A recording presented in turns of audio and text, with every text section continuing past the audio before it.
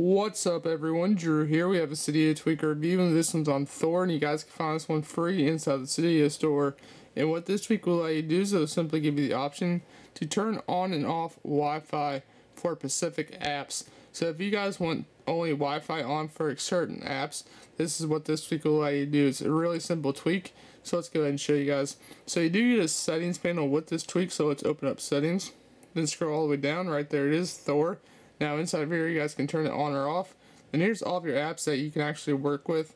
So you have the App Store, Cydia, Safari, YouTube, Twitter, and Facebook, and Skype, and Tweetbot. Basically just the normal stuff that we use every day. So let's go ahead and check these out. So right now we have Twitter, and we have Cydia and App Store. So right now you guys can see we actually have no SIM card in the phone. That's because it's my iPhone 4. I basically use my iPhone 4S.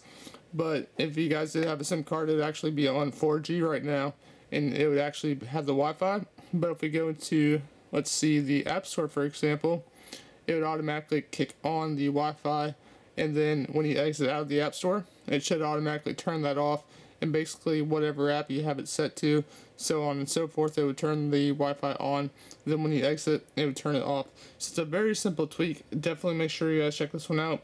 This one's called Thor, and you can find this one free inside the Cydia store. So that's pretty much it. If you guys like this video, go make sure to subscribe. Give this video a thumbs up. Drop all of your comments down below. Follow us on Facebook and Twitter for more up-to-date news.